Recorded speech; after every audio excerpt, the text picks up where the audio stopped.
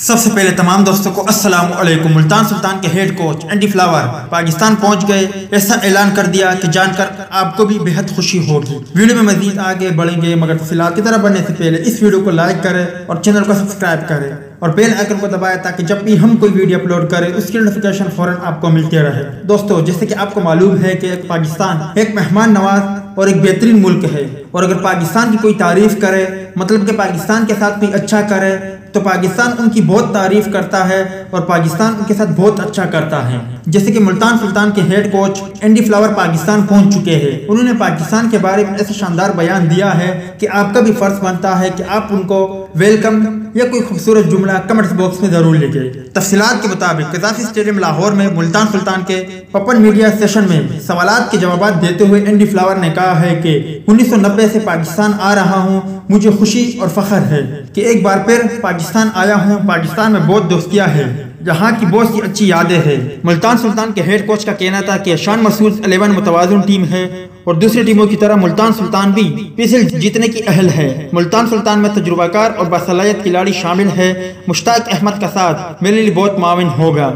وہ کھیل اور یہاں کی کنڈیشن کو بہت اچھی طرح سمجھتے ہیں۔ اینڈی فلاور نے کہا ہے کہ کسی ایک کھلاڑی کو ٹرم کارڈ نہیں سمجھتا۔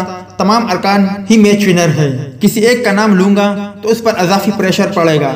ٹیم میں سینئر کے ساتھ ایسے نوجوان ہیں جو بہترین پرفارمنس سے سب کے دل جیت سکتے ہیں۔ مجھے ان کھلاڑیوں پر بہت اعتماد ہے اور میں پاکستان کے حالات اور پاکستان کی مہمان نوازی دیکھ کر یقیناً بہت حیران ہوا ہوں اور میں پاکستان اور پاکستانی شائقین کا بہت شکر گزار ہوں۔ اور مجھے امید ہے کہ کراچی میں بھی ہمیں بہترین سپورٹ دیکھنے کو ملے گی۔ تو دوست یہ تھی، ملتان سلطان کے ہیڈ کوچ ہینڈی فلاور کے حوالے سے کچھ اپڈیٹ امید کرتا ہوں آپ کو پسند آئی ہوگی اس اپڈیٹ کے متعلق اپنی رائے کے اور کمنٹ باکس میں ضرور دیں۔